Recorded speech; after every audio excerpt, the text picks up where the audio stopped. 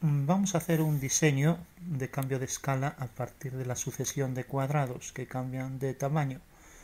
Escribimos polígono o bien pinchamos en el icono, marcamos un punto, bueno, antes de nada, número de lados 4, enter, precise centro lado, L, enter, o sea, lado, primer punto y segundo para hacer horizontal, pulso en F8 y le doy el tamaño, por ejemplo, 10. Con lo cual ya tengo ahí el cuadrado y ahora cojo otro, pero ahora lo voy a hacer con polilínea, polilínea, primer punto, segundo, quito el orto, F8, para mover con mayor agilidad, punto medio, punto medio y punto medio. Bueno, vuelvo a hacer otra polilínea o polígono, polígono, número de lados 4, L, enter, punto inicial y punto final del lado y ahí tengo otro cuadrado. Hago otra polilínea, PL, marco primer punto,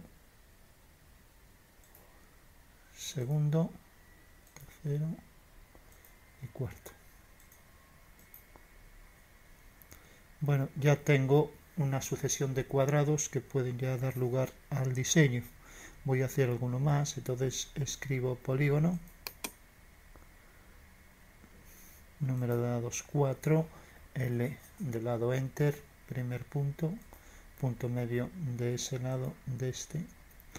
Y vuelvo a hacer la polilínea, polilínea desde este punto medio hasta este este donde aparece el triángulo es el punto medio y C de cerrar C enter.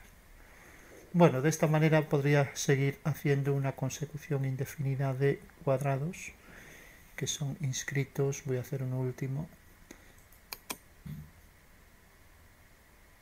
Unos dentro de otros. Número de lados 4 L enter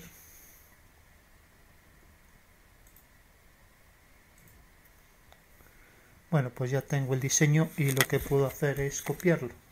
Entonces si lo copio, aquí lo tengo. Ver, zoom, encuadro la figura en el formato y en algo más o menos semejante al anterior. Ver zoom al 100% y puedo por último jugar con los colores alternando por ejemplo de formas rojas y blancas por poner un ejemplo.